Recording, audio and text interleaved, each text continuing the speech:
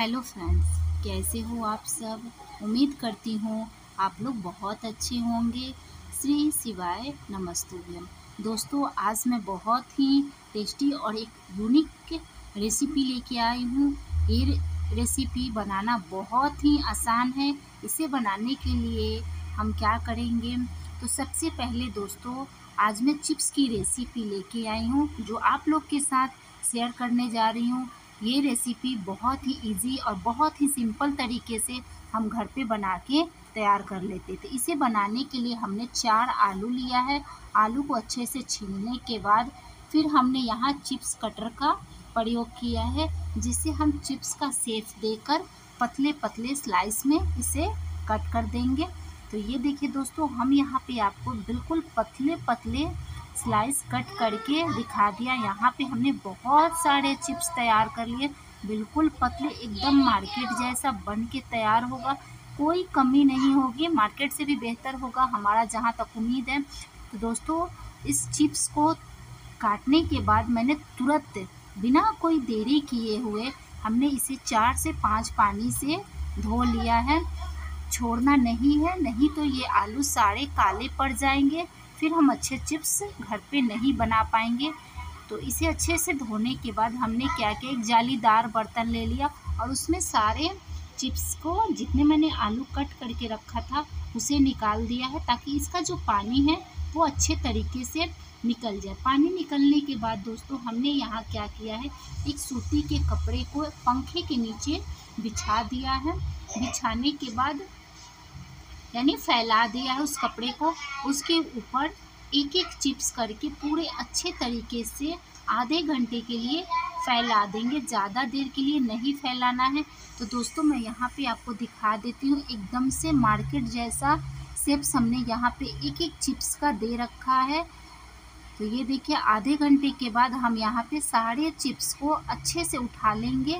ज़्यादा टाइम नहीं लगाना है। बिल्कुल 10 से 15 मिनट में ये चिप्स बन के रेडी हो जाएगा, जो आपका टाइम लगेगा, बस पंखे के नीचे टाइम लगेगा।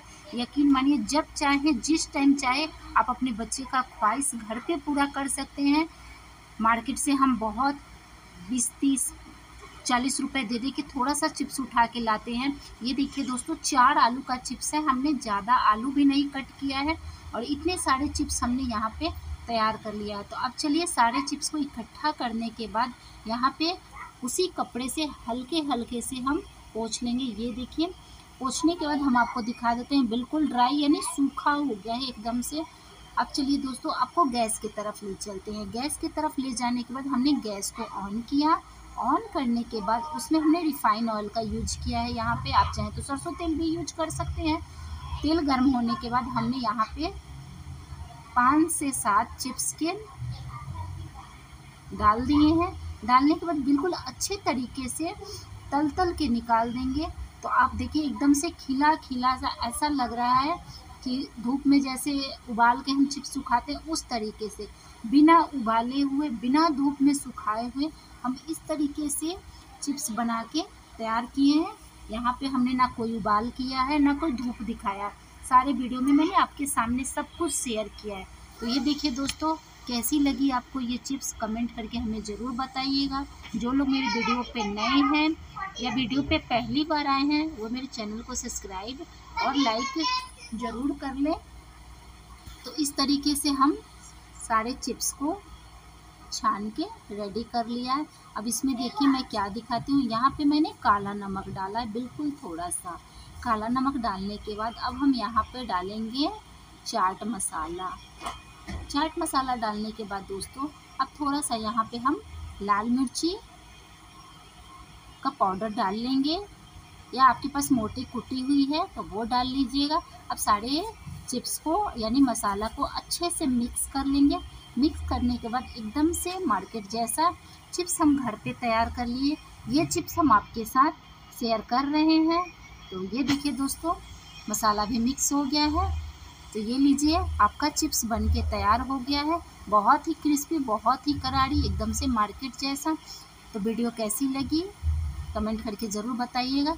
मिलते हैं आपसे नेक्स्ट ब्लॉग में। तब तक के लिए टेक केयर बाय बाय दोस्तों। आपसे फिर मिलेंगे एक नई रेसिपी के साथ।